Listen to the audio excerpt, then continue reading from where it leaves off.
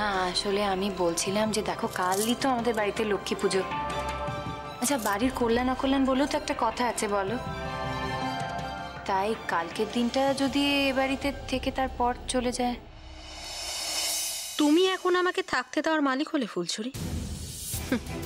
তোমার পায়ের তলার মাটিটা কতটা নরম হয়ে গেছে, সেটা যদি একটু বুঝতে। থাক, বোঝুনি যখন তখন আমাকেই বোঝাতে হবে। ভালোই হয়েছে। কাল লক্ষ্মী পুজোর দিনে এবাড়ির অলক্ষ্মী বিদায় হবে। কে অলক্ষ্মী? তা তো কালই প্রমাণ হয়ে যাবে। আমার ইচ্ছা ছিল না দিয়া শুধুমাত্র ফুলঝুরি বলেছে বলে ওর কথা সম্মান রাখার জন্য একটা দিন তুই থাকতে পারিস। মাত্র একটা দিন।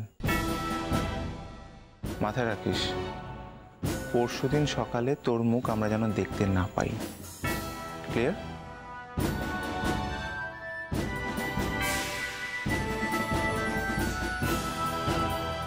কিন্তু তার আগে তোমাদের সবার কাছে আমার একটা ইনফরমেশন দেওয়ার আছে। তোর কাছ থেকে আমার কোনো রকম ইনফরমেশন নেওয়ার নেই ঠিক আছে? আছে আছে। আছে সাহেবদা মল্লিক বাড়ির আসল মেয়েকে। ফুলঝুরি? না দিয়া।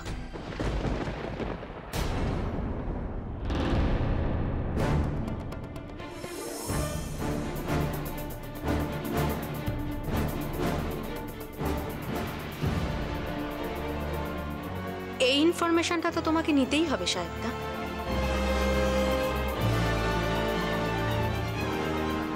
তা না হলে অন্যকে ঠক বানাতে গিয়ে নিজেই ঠকে বসে থাকবে। দিয়া! না, আমি আর কিচ্ছু বলব না। যারা বলবে, তারা কালই আসবে। আর কালই ডিসাইড হবে, লক্ষ্মী পুজোর দিন কোন অলক্ষ্মী বিদায় হবে।